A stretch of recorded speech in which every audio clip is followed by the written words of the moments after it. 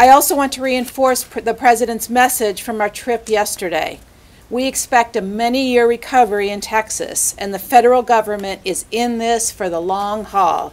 We will continue to support the people of Texas as long as it is necessary. The President reiterated this again, both publicly and behind closed doors yesterday. The initial word we got, people first, is continuing through our response.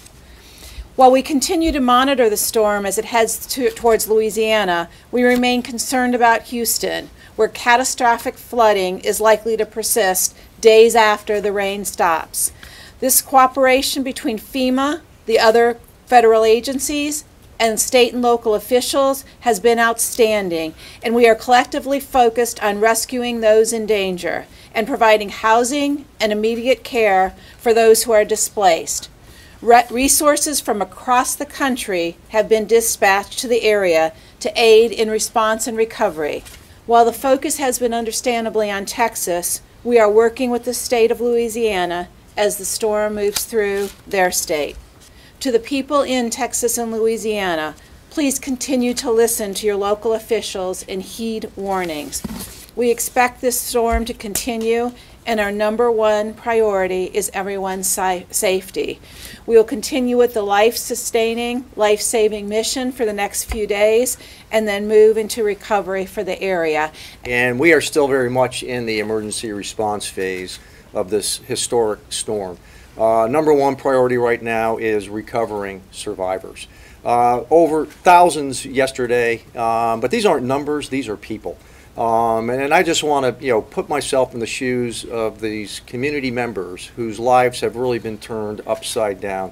Uh, so we will be there for as long as it takes. Now, as the storm is starting to shift to the east, uh, we will be able to shift our resources to the east as well. So uh, we will be able to stay in front of this. We're getting great support from the National Guard, from the state of Texas, the entire first response community.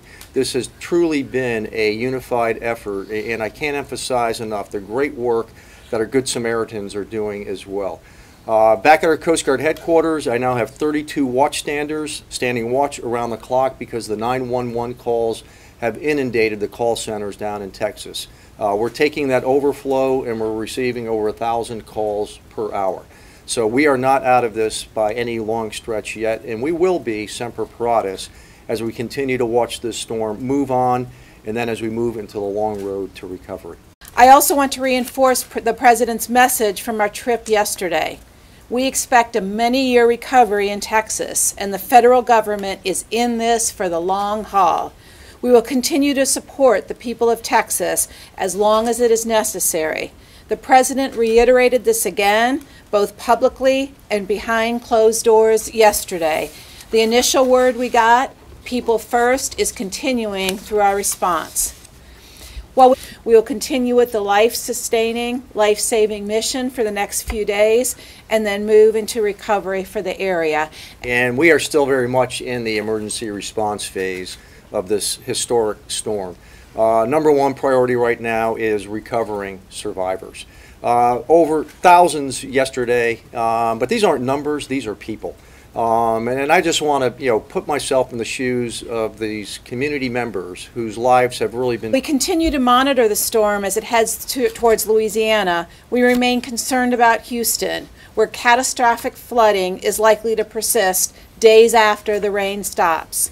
This cooperation between FEMA, the other federal agencies, and state and local officials has been outstanding, and we are collectively focused on rescuing those in danger and providing housing and immediate care for those who are displaced. Re- turned upside down. Uh, so we will be there for as long as it takes. Now, as the storm is starting to shift to the east, uh, we will be able to shift our resources to the east as well. So uh, we will be able to stay in front of this. We're getting great support from the National Guard, from the state of Texas, the entire first response community.